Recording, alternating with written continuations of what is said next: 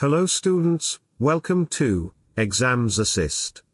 Today we are going to read the story of Khushwant Singh's Portrait of a Lady which is a story from CBSE's Class 11 Hornbill book. So please subscribe to our channel and click the notification bell button and let's get started. The Portrait of a Lady by Khushwant Singh. My grandmother, like everybody's grandmother, was an old woman. She had been old and wrinkled for the twenty years that I had known her. People said that she had once been young and pretty and had even had a husband, but that was hard to believe. My grandfather's portrait hung above the mantelpiece in the drawing room. He wore a big turban and loose-fitting clothes. His lawn, white beard covered the best part of his chest and he looked at least a hundred years old. He did not look the sort of person who would have a wife or children. He looked as if he could only have lots and lots of grandchildren. As for my grandmother being young and pretty, the thought was almost revolting. She often told us of the games she used to play as a child. That seemed quite absurd and undignified on her part and we treated it like the fables of the prophets she used to tell us.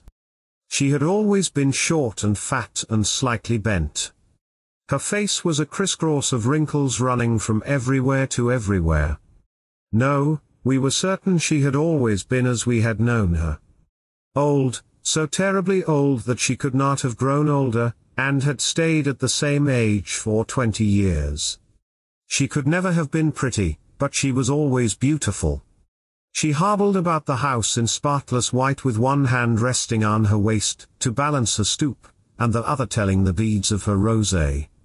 Her silver locks were scattered untidily over her pale, puckered face, and her lips constantly moved in inaudible prayer. Yes, she was beautiful. She was like the winter landscape in the mountains, an expanse of pure white serenity breathing peace and contentment. My grandmother and I were good friends. My parents left me with her when they went to live in the city and we were constantly together. She used to wake me up in the morning and get me ready for school. She said her morning prayer in a monotonous sing-song while she bathed and dressed me in the hope that I would listen and get to know it by heart. I listened because I loved her voice but never bothered to learn it. Then she would fetch my wooden slate which she had already washed and plastered with yellow chalk, a tiny earthen ink pot and a red pen, tie them all in a bundle and hand it to me. After a breakfast of a thick, stale chapati with a little butter and sugar spread on it, we went to school. She carried several stale chapatis with her for the village dogs.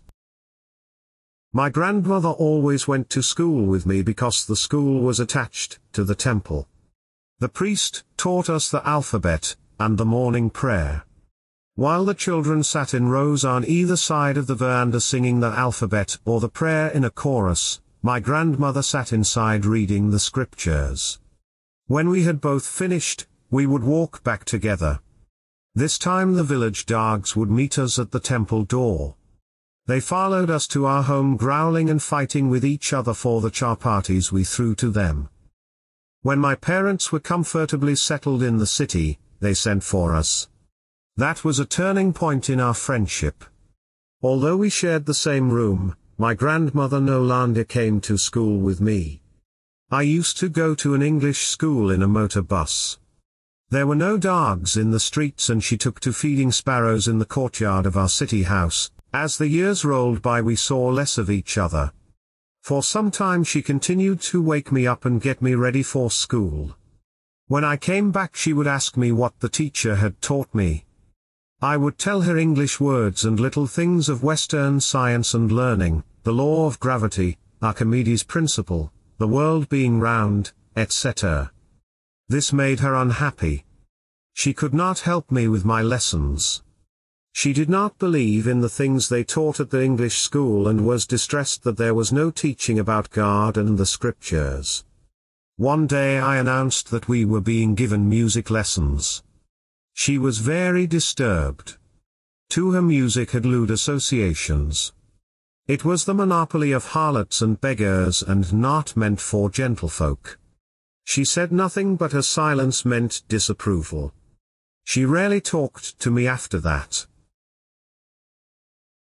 When I went up to university, I was given a room of my own. The common link of friendship was snapped. My grandmother accepted her seclusion with resignation. She rarely left her spinning wheel to talk to anyone. From sunrise to sunset she sat by her wheel spinning and reciting prayers. Only in the afternoon, she relaxed for a while to feed the sparrows. While she sat in the veranda breaking the bread into little bits, hundreds of little birds collected round her creating a veritable bedlam of chirrupings. Some came and perched on her legs, others on her shoulders. Some even sat on her head. She smiled but never shooed them away. It used to be the happiest half hour of the day for her. When I decided to go abroad for further studies, I was sure my grandmother would be upset. I would be away for five years, and at her age one could never tell. But my grandmother could. She was not even sentimental. She came to leave me at the railway station but did not talk or show any emotion. Her lips moved in prayer, her mind was lost in prayer. Her fingers were busy telling the beads of her rosé. Silently she kissed my forehead, and when I left I cherished the moist imprint as perhaps the last sign of physical contact between us. But that was not so. After five years I came back home and was met by her at the station. She did not look a day older. She still had no time for words, and while she clasped me in her arms I could hear her reciting her prayers. Even on the first day of my arrival, her happiest moments were with her sparrows whom she fed longer and with frivolous rebukes. In the evening a change came over her. She did not pray. She collected the women of the neighborhood, got an old drum and started to sing.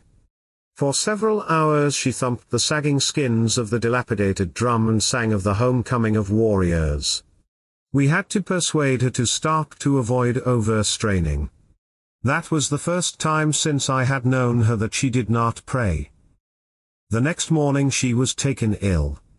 It was a mild fever and the doctor told us that it would go. But my grandmother thought differently. She told us that her end was near. She said that, since only a few hours before the close of the last chapter of her life she had omitted to pray, she was not going to waste any more time talking to us. We protested. But she ignored our protests. She lay peacefully in bed praying and telling her beads. Even before we could suspect, her lips stopped moving and the rosé fell from her lifeless fingers. A peaceful pallor spread on her face and we knew that she was dead. We lifted her off the bed and, as is customary, laid her on the ground and covered her with a red shroud. After a few hours of mourning, we left her alone to make arrangements for her funeral. In the evening we went to her room with a crude stretcher to take her to be cremated. The sun was setting, and had lit her room and veranda with a blaze of golden light. We stopped halfway in the courtyard. All over the veranda and in her room right up to where she lay dead and stiff wrapped in the red shroud, thousands of sparrows sat scattered on the floor. There was no chirruping. We felt sorry for the birds and my mother fetched some bread for them. She broke it into little crumbs, the way my grandmother used, to, and threw it to them. The sparrows took no notice of the bread. When we carried my grandmother's corpse off, they flew away quietly. The next morning the sweeper swept the bread crumbs into the dustbin. This the audio story for the portrait of a lady by Khushwant Singh. It took a lot of time to make this audio story, and I hope it helped you with your exams. We will continue to push out more audio stories from different classes of CBSE and ICS and others. Please subscribe to our channel for more. Peace out and happy studies.